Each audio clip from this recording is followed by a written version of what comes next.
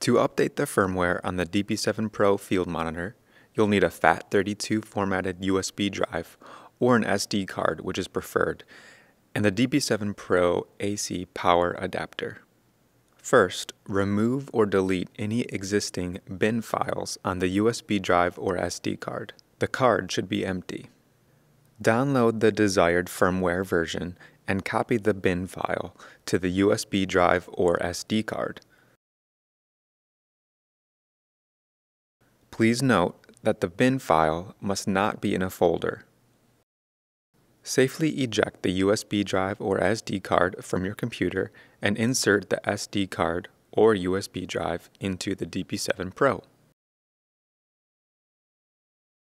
The DP7 Pro should be powered with AC power, not batteries. Turn the monitor on and scroll to the Settings menu.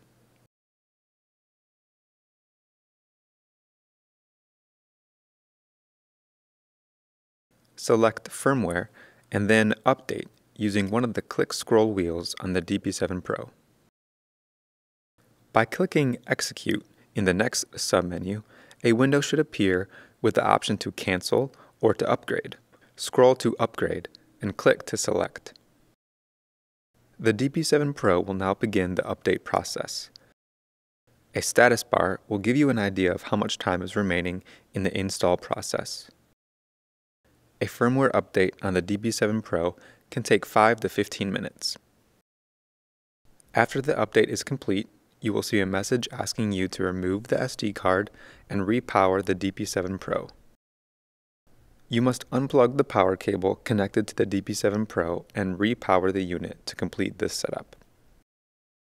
Once the DP7 Pro has repowered, the firmware update process is complete. You should remove the bin file from the SD card before using it again in the DP7 Pro.